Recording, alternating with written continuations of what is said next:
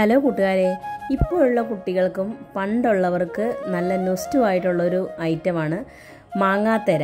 മാങ്ങാത്തര നമ്മൾ ഒരുപാട് മാമ്പഴ സീസൺ ഉണ്ടാകുന്ന സമയത്ത് ഒരുപാട് മാമ്പഴം ഉണ്ടാകുമ്പോൾ നമ്മൾ ഉണ്ടാക്കി വെക്കുന്ന ഒരു സാധനമാണ് മാങ്ങാത്തര. അപ്പോൾ പണ്ടുള്ളവരുടെ ഒരു നൊസ്റ്റുമായിട്ടുള്ളൊരു ഐറ്റമാണ് കേട്ടോ. എന്റെയൊക്കെ ഒരു കുഞ്ഞിനെ നല്ലൊരു നൊസ്റ്റുമായിട്ടുള്ളൊരു ഐറ്റമാണ്. അപ്പോൾ അതെങ്ങനെയാണ് തയ്യാറാക്കേണ്ടത്? നേരെ വീട്ടിലേക്ക് ഇപ്പോൾ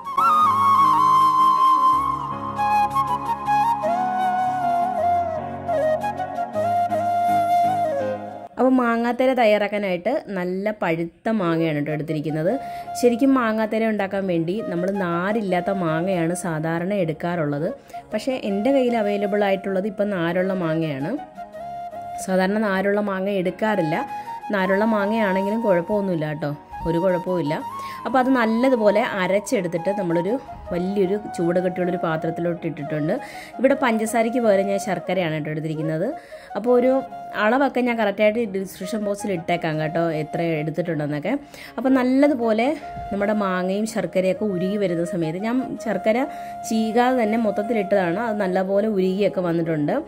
അതിനുശേഷം ഒന്ന് തിളച്ച് വരുന്ന സമയത്ത് നമുക്ക് അതിലേക്ക് രണ്ട് നാരങ്ങയുടെ നീര് ചേർത്ത് കൊടുക്കുന്നുണ്ട്. ഈ ശർക്കരയ്ക്ക് പകരം പഞ്ചസാര വേണമെങ്കിലും ചേർത്ത് കൊടുക്കാം കേട്ടോ. ശരിക്കും പറഞ്ഞാൽ ഇത് നല്ല പുളിയും നല്ലൊരു മധുരവും ഒക്കെ ആയിട്ടുള്ള ചേർന്നിട്ടുള്ളൊരു ടേസ്റ്റാണ് മാങ്ങാത്തരയ്ക്ക്. അപ്പം നമ്മുടെ നാരങ്ങയുടെ പുളിയും മാങ്ങയുടെ നല്ല മധുരവും ശർക്കരയുടെയൊക്കെ മധുരവും ചേർത്ത് നല്ലൊരു ടേസ്റ്റാണ് കേട്ടോ. അതിനുശേഷം നല്ലൊരു കുറുകി വന്നിട്ട് നമ്മുടെ നമ്മളിങ്ങനെ തവിയിൽ ഇങ്ങനെ വരച്ച് നോക്കുമ്പോൾ കറക്റ്റായിട്ട് ഇങ്ങനെ ക്ലിയർ ആയിട്ട് കിട്ടണം. അങ്ങനെ അതാണ് അതിന്റെ പരുവം കേട്ടോ. അപ്പോൾ അതിനുശേഷം അതവിടെ ചൂടോടുകൂടി തന്നെ നമ്മളൊരു പാത്രത്തിലേക്ക് നമ്മളിപ്പോൾ ഇത് ഉണക്കാൻ വേണ്ടി വെക്കണം. അപ്പോൾ നല്ല വെയിലുള്ള സമയത്താണ് ഇത് സാധാരണ ചെയ്യുന്നത് കേട്ടോ. ഇപ്പം മഴയൊക്കെ തുടങ്ങി. എന്നാലും നിങ്ങൾക്ക് വെയിൽ വരുന്ന സമയത്ത് ഇത് തയ്യാറാക്കാം കേട്ടോ. അപ്പോൾ മാങ്ങയൊക്കെ സൂക്ഷിച്ച് വെച്ചാൽ മതി. ഫ്രിഡ്ജിലെടുത്ത് വെച്ചാൽ മതി. അപ്പം നമുക്ക് പിന്നെയാണെങ്കിലും തയ്യാറാക്കാം. ഇത് നല്ലതുപോലെ ഒരു പാത്രത്തിലേക്ക് ശരിക്കും ഞാനിവിടെ സൺഫ്ലവർ ഓയിൽ ഒരു ഇച്ചിരി ഒഴിച്ചു കൊടുത്തിട്ട് നല്ലപോലെ ഒന്ന് പരത്തി കൊടുക്കുന്നുണ്ട്. ഇതൊന്നും ഒഴിച്ചില്ലെങ്കിലും കറക്റ്റായിട്ട് വരും നല്ലപോലെ ഉണങ്ങി കഴിയുമ്പോൾ അതിനുശേഷം പാത്രത്തിൽ ഒഴിച്ചു കൊടുക്കുക. ഞാനിപ്പോൾ കുറച്ച് കട്ടിയായിട്ടാണ് കേട്ടോ ചെയ്യുന്നത്. നൈസായിട്ട് വേണമെങ്കിലും ചെയ്യാം. പെട്ടെന്ന് ഉണങ്ങി കിട്ടും. ഒരു വെയിലടിച്ചാലും മതി. നൈസായിട്ട് എടുത്തു കഴിഞ്ഞാൽ ഞാൻ കുറച്ച് കട്ടി എനിക്ക് ഈ കട്ടിയായിട്ട് എടുക്കുന്നതാണ് ഇഷ്ടം. നല്ല കട്ടിയായിട്ടിരിക്കുന്നതാണ് ഇഷ്ടം. അപ്പോൾ ഞാൻ കട്ടിക്കാണ് എടുത്തിരിക്കുന്നത്. നിങ്ങൾ നൈസായിട്ട് എടുത്താലും മതി. ഒരു രണ്ട് ദിവസം നല്ല വെയിൽ കൊണ്ട് കഴിഞ്ഞാൽ നമ്മുടെ മാങ്ങാത്തര ഇവിടെ നല്ല സെറ്റിലായ സെറ്റായിട്ട് വന്നിട്ടുണ്ട് കേട്ടോ.